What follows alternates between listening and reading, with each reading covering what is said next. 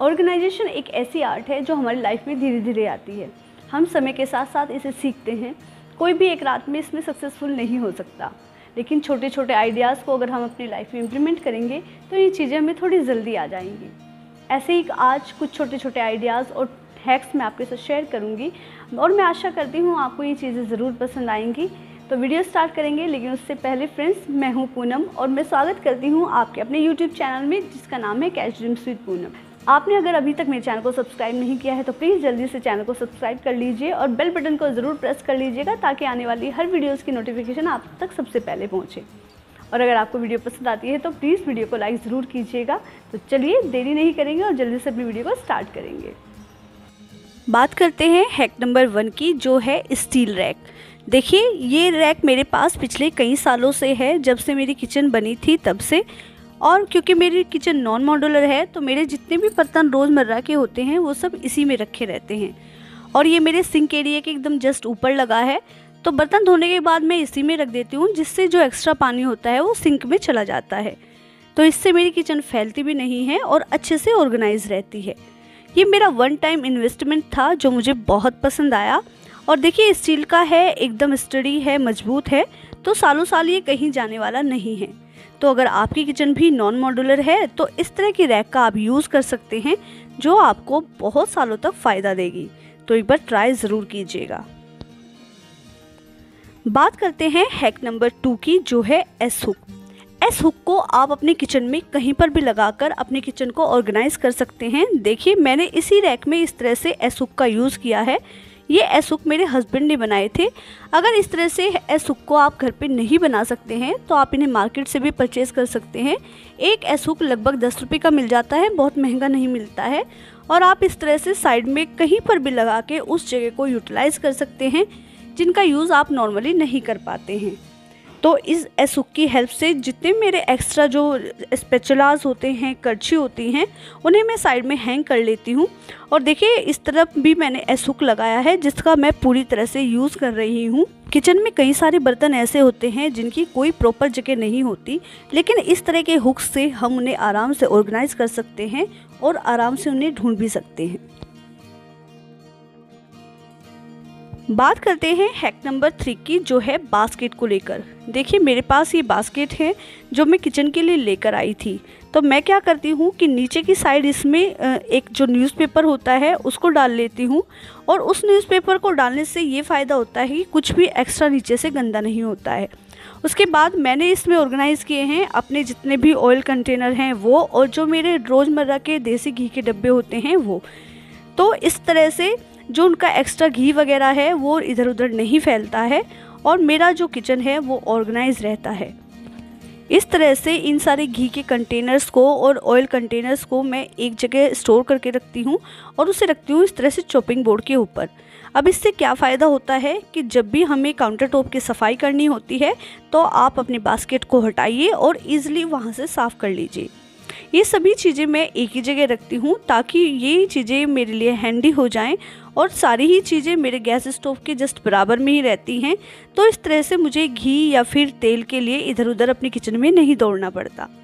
और सिर्फ़ यही नहीं, देखिए मैंने और भी बास्केट्स इस तरह से यूज़ कर रखी हैं अपनी किचन में और जब से मैं इनका यूज़ कर रही हूँ, मेरी जो किचन है वो पूरी तरह से ऑर्गेनाइज रहती है। इस वाली बास्केट में मैंने रखा है, देखिए, इस तरह से टी और शुगर और कुछ नैपकिन पेपर जिनकी मुझे दिन में कई कई बार ज़रूरत पड़ती है। और इसे हमेशा मैं रखती हूँ अपने राइट हैंड साइड में, ताकि चीज़ों को उठाने में मुझे आसानी रहे। जब से मैंने बास्केट का यूज़ किया है, मेरे लिए चीज़ें आसान हो गई हैं और किचन को साफ़ करना भी आसान हो जाता है, क्योंकि आराम से आप बास्केट को हटाइए और क्लीनिंग कर लीजिए।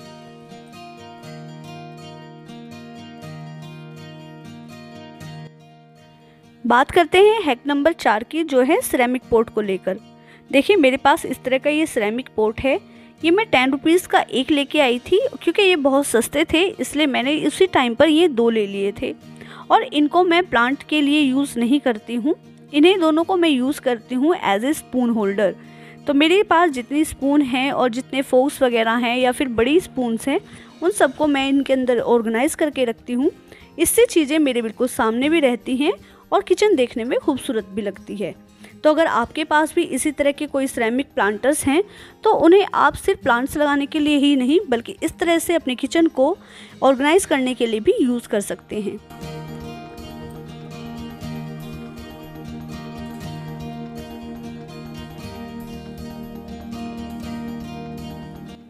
बढ़ते हैं हैक नंबर फाइव की तरफ़, जो है प्लास्टिक रैक देखिए, ये रैक मेरे पास पिछले छः सात सालों से है। बिल्कुल भी इधर उधर नहीं गई है नहीं तो इसका कलर गया है।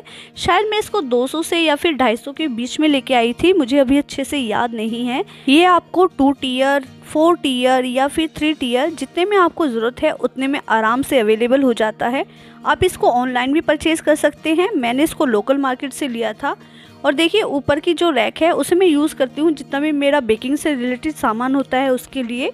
उसके बाद मैं रखती हूँ इसमें अपने इस तरह से बड़े जो मग्स होते हैं उन्हें, और उसके नीचे मैं इस तरह से ऑर्गेनाइज करके रखती हूँ अपने कप वगैरह। ये कई कलर्स में आती है। आप अपनी मर्ज़ी के अकॉर्डिंग किसी भी कलर को चूज़ कर सकते हैं जो आपकी किचन से मैच करता हो। उस टाइम पे ये ब्लू में ही अवेलेबल थी तो मैंने इसी को ले लिया था। आप अगर लेना चाहते हैं तो आप क्रीम में लीजिएगा, वो देखने में ज़्यादा खूबसूरत लगती है। बढ़ते हैं हैक नंबर सिक्स की तरफ़, जो है डी स्पाइस रैक अगर आपकी किचन भी नॉन मॉडुलर है और आपके पास भी ऑर्गेनाइजेशन के लिए ज़्यादा चीज़ें नहीं हैं तो आप ट्राई कर सकते हैं इस तरह की डी स्पाइस रैक मैंने पिछली वीडियो में आपके साथ इसको शेयर किया था। इसका लिंक मैं आपको डिस्क्रिप्शन बॉक्स में प्रोवाइड करा दूँगी। टोटी वेस्ट सामान से हमने इसको बनाया था। और जब से मैंने इसको यूज़ किया है, तब से मेरी जो किचन है, वो काफ़ी हद तक ऑर्गेनाइज हो गई है। चीज़ें सामने ही होती हैं तो आराम से मिल जाती हैं। इसको साफ़ करना भी बहुत आसान है और अगर एक चीज़ से नहीं तो किसी दूसरी चीज़ से हम इसको बनाकर तैयार कर सकते हैं, जो देखने में भी खूबसूरत लगती है और हमारी किचन को और भी ज़्यादा ऑर्गेनाइज फील कराती है।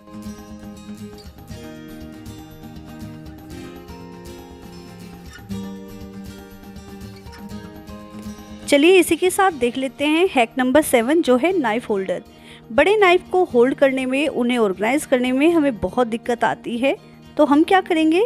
तो देखिए, मैंने लिया है ये इस तरह का एक बड़ा मग जो थोड़ा सा टूटा हुआ था और इसको अब मैं अच्छे से यूज़ कर पाऊँगी। मैंने क्या किया है? इसके अंदर मैंने भर लिए हैं इस तरह से चावल। आप इसकी जगह पर नमक का भी यूज़ कर सकते हैं।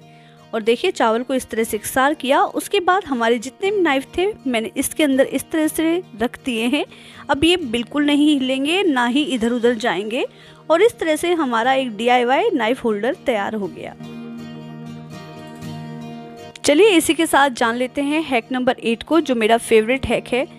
अगर मेरी तरह आपकी किचन भी नॉन मॉडुलर है और काउंटर टॉप का नीचे का जो एरिया है, वो पूरी तरह से दिखता रहता है, यानी उसके अंदर का जितना भी क्लटर होता है, वो हमारी आँखों के सामने ही रहता है तो आप ट्राई कर सकते हैं इस तरह से कर्टेंस को। मैंने यहाँ पर पुराने कर्टेंस का यूज़ किया है, जो मेरे पास एकदम वेस्ट थे। आप चाहें तो इसकी जगह पर डीआईवाई कर सकते हैं बेडशीट से या फिर साड़ी से, या फिर नई जो कर्टेंस हैं, उनका भी यूज़ कर सकते हैं। फ्रेंड्स एक बार आप अपने किचन में इस तरह से कर्टेंस ज़रूर ट्राई कीजिएगा। यह आपकी किचन को ऑर्गेनाइज दिखाने में काफ़ी हेल्प करेंगे।